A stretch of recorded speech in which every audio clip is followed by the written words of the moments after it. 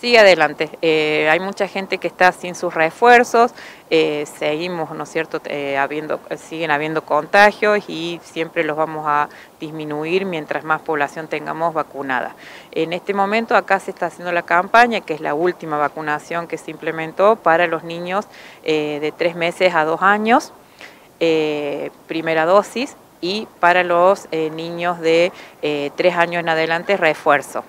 Eh, pueden asistir a cualquiera de los tres centros de salud, San Jorge, Santa Teresa y Eva Perón, eh, en horarios eh, de mañana en los, en los tres y por la tarde también en Eva Perón para realizar, em, para tomar, sacar un turno para hacer las, eh, la vacunación para los niños. Se puede hacer conjuntamente con las vacunas de calendario, no hay problema de hacerlas con las vacunas de calendario, así que invitamos a que, a que sumen esa vacunación y completen los calendarios habituales, que también a veces vemos que algunos están atrasados, eh, o inconclusos, incompletos, eh, que completen sus calendarios de vacunación, las personas, los niños, y no solo los niños, sino los adultos, y también hagan sus refuerzos de COVID. Eh, Doctora, insistir en esto porque ha habido como una especie de relajamiento que responde un poco a la situación actual que estamos viviendo frente al COVID, ¿no?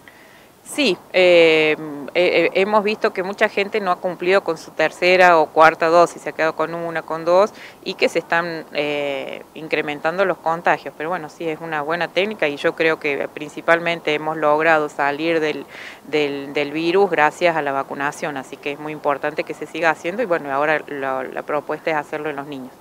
Doctora, algo importante para aclarar, que tengo entendido la, dirección precisamente del hospital quiere hacerlo del centro de salud, que es aclarar bien sobre el sistema de guardias que tiene el lugar, ¿no?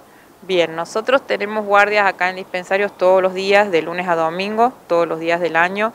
La guardia activa, eh, de 8 a 20 horas, que está siempre médico y, personal de enfermería, aparte de todas las especialidades que hay que están de, eh, habituales, ¿no es cierto? Pero la guardia es de 8 a 20 horas activa.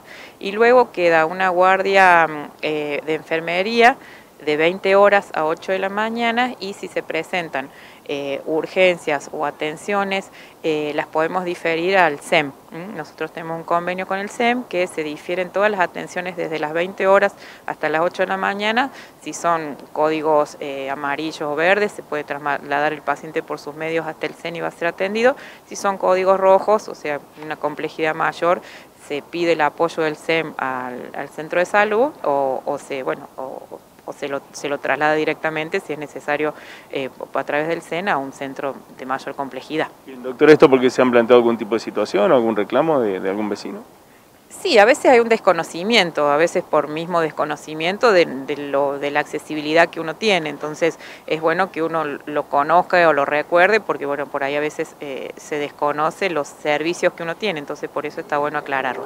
Recordar que esto es de eh, todos los días, de lunes a lunes. Esto es siempre, todos los días del año, domingo, feriado, sábado, domingo, siempre tenemos eh, una guardia activa de, de 12 horas en el centro de salud y posteriormente ya es una guardia diferida, pero primero se hace la el arribo y la valoración del paciente por parte del personal de enfermería y luego se es derivada o se llama al servicio de emergencia acá.